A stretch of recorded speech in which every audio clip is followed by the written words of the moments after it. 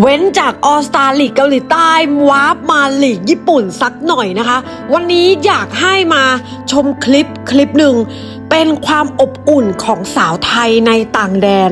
ระหว่างเพียวอัชราพรคงยศ และบีมพิมพิชากกรำน้องสาวของทั้งสองทีมนี้แข่งกันนะคะ เมื่อวานนี้ วันอาทิตย์ที่ 28 มกราคม 2567 ผลการแข่งขันค่ะ ปรากฏว่า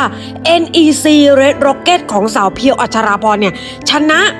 คุโรเบะ Aqua Fairies ของสาวบีมพิมพิชยา ก๊กรัมย์ 3ต่อ 0 เซตเลยนะคะ สกอร์นั่นก็คือ 25 ต่อ 9 25 ต่อ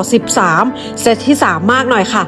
25 ต่อ 20 เพราะแอดเห็นภาพเหล่านี้นะคะ แอดรู้สึกว่าสาวบีมพิมพิชยา ก๊กรัมย์คือ อุ่นใจมากๆ ที่เออได้เจอพี่สาวได้แข่งพี่สาวนะคะ ได้แข่งกับพี่อัจราพรคงยศทำให้เธอก็ได้พูดคุยกัน และก็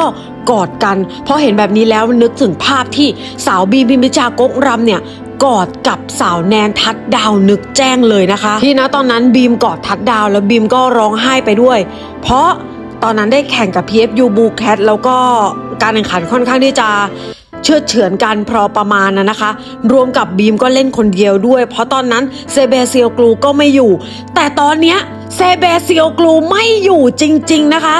หมดสัญญากับคุโรเบะ Aqua Fairies เป็นที่เรียบร้อยแล้วเซเบกลับ VakıfBank แล้วนะคะทุกคนกลับไปเป็นสาวตุรกีเหมือนเดิมนะคะ สาวเหลืองดำนะณเวลานี้เป็นยังไงล่ะ สาวบีมีวิชากกรำก็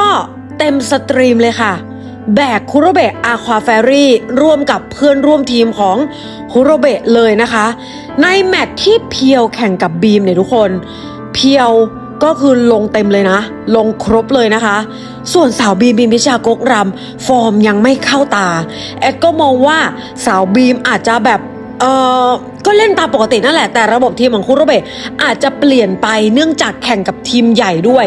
ทำให้บีมมิชากกรำเนี่ยได้ลงแค่ 1 เซตกับอีกนิดเดียวของต้นเซตที่ 2 เซตแรกสาวบีมได้ลงเต็มนะคะ หลังจากนั้นมาต้นเซตที่ 2 ได้ลงนิดเดียวเท่านั้น และก็ไม่ได้ลงอีกเลย และการแข่งขันกับ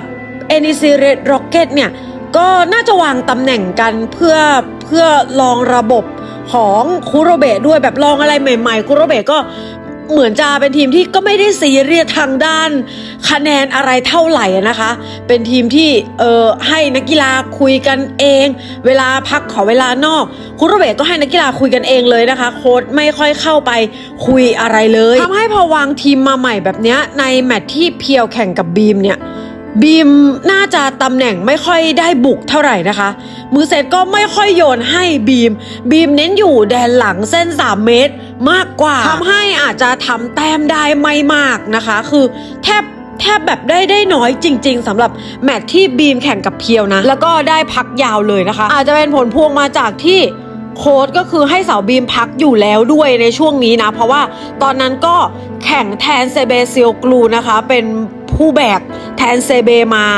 หลายอาทิตย์เหมือนกันนะ พอเซเบมาลงเซเบก็ลงยาวเลยนะ บีมก็ได้พักเลยนะคะ แต่ตอนนี้เซเบไม่อยู่จริง ๆ แล้วคือกลับตุรกีแล้วนะ ก็รอลุ้นรอดูฟอร์มของคุโรเบะกันต่อไปนะคะ มาดูช็อตนั้นกันดีกว่า พอจบการแข่งขันลูกสุดท้ายของเซตที่ 3 เพียวตะโกนเรียกบีมแบบดังมาก ข้ามสนามเลย คือข้ามเน็ตเลยล่ะค่ะทุกคน หลังจากนั้นจะเป็นภาพที่อบอุ่นมาชมกันค่ะ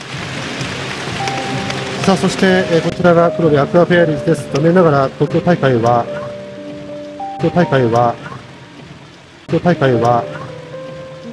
えー、今日連勝を飾ることができませんでした。昨日ねアランマールにいい勝ち方したんですけれども、えー、残念ながら ก็ตะโกนเรียกกันข้ามเน็ตเลยนะคะ แล้วก็ห่างจากเพื่อนไปเลยค่ะ ไปหาสาวบีมบิมพิชากกรำน้องสาวของเขาเลยนะคะ โอ้โห เป็นภาพที่ เออ น่ารักนะ ตะโกนข้ามเน็ตเรียกบีมเลยนะคะ ดูต่อไปนะคะทุกคนว่าเราจะเห็นภาพไหน เข้าใจเลยว่าน้องสาวคนนี้เป็นแบบว่ามีอารมณ์ที่อ่อนไหวนะคะ หลังจากเห็นมาตลอดนะ สาวบีมีพิชากงรำเป็นคนที่มีอารมณ์อ่อนไหวนะคะนี่ค่ะ มาเจอกันแล้วค่ะ ยืนคุยกันเลยนะคะคุโรเบะก็คือกำลังจะเตรียมตัวออกจากสนามสาวบีมก็แยกตัวมาคุยกับพี่สาวเพียวอัชราพรคงยศเลยนะคะ ก็ไม่รู้คุยอะไรสุดท้ายกอดกันค่ะ เข้าใจภาพนี้เลยค่ะทุกคนแอดรู้เลยนะคะ ว่าพวกเขาอุ่นใจมากๆ ที่พอมีสาวไทยมาเล่นกันเยอะ ๆ แบบนี้โดยเฉพาะทีมชาติชุดใหญ่ตัวหลักที่ที่รู้จักกันมานมนานนะทุกคน แต่ละคนคือรู้เลยว่าอุ่นใจมากๆ มีอะไรก็คือปรึกษากันคอยนัดมาเจอกันตลอดนะคะ เห็นภาพน่ารักแบบนี้เลยเอามาให้แฟนๆ ได้ดูกันนะว่า เออ สาวไทยเขาก็คงเต็มที่ในทุกๆแมตช์บางแมตช์สาวไทยอาจจะไม่ได้ลง ก็อาจจะเกี่ยวกับระบบเกมในการวางรูปเกมของโค้ดก็ได้นะคะ ไม่ได้หมายความว่าไม่ได้ลงในแมตช์นั้นๆ แล้วหมายความว่าฟอร์มไม่ดีเลยอะไรอย่างเงี้ย เราดูแต่ละเกมการแข่งขันก็เห็นความแตกต่างของแต่ละนัดแต่ละแมตช์การแข่งขัน ค่อนข้างที่จะชัดเจนว่า ระบบเกมวันนี้ที่ทางโค้ดนำมาปรับใช้กับทีมคู่ต่อสู้เนี่ยมันเป็นอย่างไรนะคะ บางแมตช์ในหลาย ๆ แมตช์บีมก็ไม่ได้ลงเลย ก็ให้ทางฝั่งทีมของคุโรเบะคนญี่ปุ่นนะนะคะ ก็คือลงครบเลยนะคะ อย่างบางแมตช์เพียวก็อาจจะไม่ได้ลงลงน้อยบ้าง ลงมากบ้าง ก็เป็นเรื่องปกติของเกมนะคะ ยังไง ฟอร์มนักกีฬาเขาแข่งกันแบบแน่นเอียดซะขนาดนี้นะทุกคน คิดดูดิ ตารางการแข่งขันของพวกเขาอะยังอีกเพียบ ยิ่งไปกว่านั้นจบลีกอาชีพปุ๊บอะก็ลุยงานใหญ่ต่อเลยอย่างวอลเลย์บอล Nations League VNL ปี 2024 ที่ก็มีผลพ่วงไปกับโอลิมปิกทุกคนคิดดูนะ แค่เราเห็นตารางแบบเนี้ยมันก็คือแน่น คือไม่รู้ว่าเมื่อไหร่ พวกเขาจะแบบได้พักอะดังนั้นก็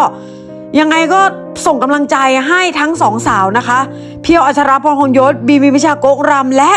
สาวไทยในลีกญี่ปุ่นทุกคนเลยนะ ให้ทำให้เต็มที่นะคะ เชื่อว่าความเหนื่อยความพยายามของพวกเขาเนี่ยจะนำมาซึ่งความสำเร็จให้ตัวพวกเขาเอง จะนำมาซึ่งความฝันอันสูงสุดให้ตัวพวกเขาเองค่ะ พวกเราขอเพียงแค่อยู่ข้างๆ พวกเขา support พวกเขาไปแบบนี้ตลอดนะคะอะ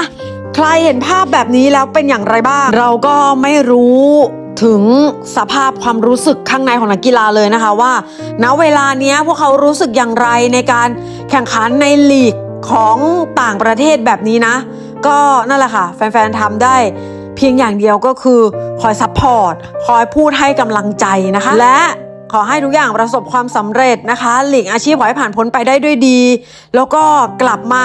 สู่ัพนักตบลูกยางสาวไทยในนามทีมชาติที่จะเจอศึกใหญ่ด้วยค่ะ ถ้าชอบคลิปนี้ค่ะ อย่าลืมกดไลค์นะคะ กด subscribe กดกระดิ่งค่ะ และคอมเมนต์เป็นกำลังใจทัพนักตบลูกยางสาวไทยค่ะ ในการลุยศึกในหลีกญี่ปุ่นลีกอาชีพของพวกเขาที่พวกเขากำลังตั้งใจพยายาม อีกไม่นานก็จะจบหลีกการแข่งขันในฤดูกาลนี้แล้วค่ะ ส่งกำลังใจให้สาวบีมีพิชากกรำและสาวพีอัจราพรคงยศรวมถึงทัพสาวไทยในหลีกญี่ปุ่นกันนะค่ะรู้ว่าเหนื่อยเลย 今日はあの NEC の方がレギュラーラウンドこれ本拠地最終戦ということで、えーそのセレモニーがこれから行われるようです。さあ残りがさあ残りが